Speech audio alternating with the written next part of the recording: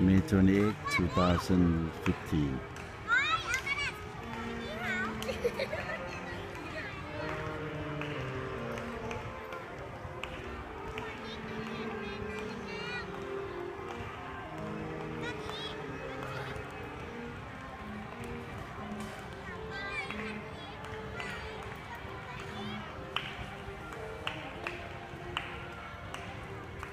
Katie is the leader of the pack.